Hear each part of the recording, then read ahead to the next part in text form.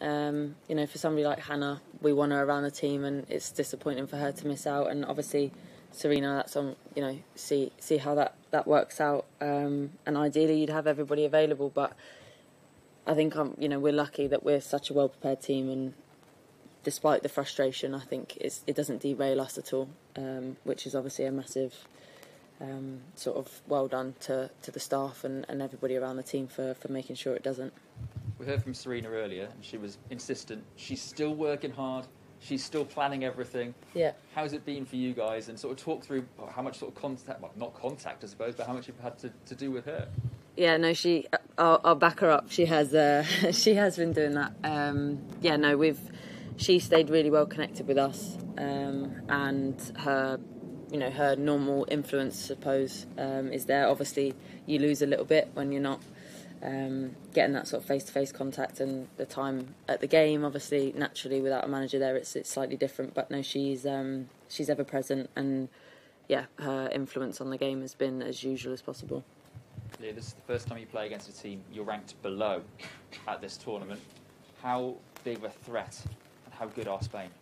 Yeah, they're a, um, a team that we obviously massively respect. Um, the way they play football is is good to watch, and um, they're all a product of that same, um, yeah, that same style, I suppose. All the players are on the same page, so yeah, definitely have uh, have a lot of threats. Um, but I think, you know, we're we're a team that, despite our ranking, is in is in good shape, in good form, and and hopefully, uh, yeah, our threats uh, are as enough, I suppose, uh, tomorrow night.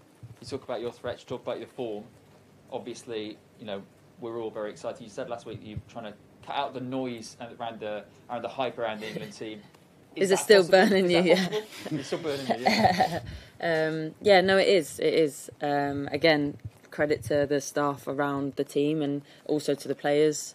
Um, we are sort of in our own little bubble, and it, it's not crept in at all.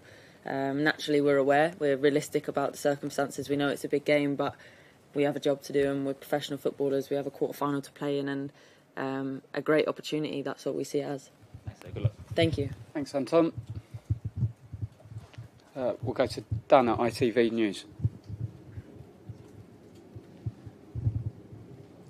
Thank you.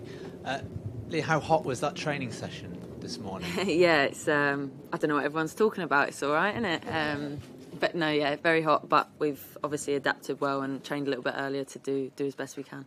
And h- how have you adapted? Uh, yeah, so we moved the training a little bit earlier, um, and you know, stopping every so often for, for more of a drink and, and stuff like that. Obviously, I'm not I'm not the one qualified to make decisions on how best to deal with it, but um, it's been good, and the the intensity certainly hasn't dropped, which is which has been great. I know you're, you're saying that you see this match as an opportunity. Yeah. But but does your mind drift to the fact that this is do or die now, and it could come to an end tomorrow, or it could be a massive step forward? Yeah, obviously it's knockout football. The the game changes once you get through the groups, and um, the nature of the game is different.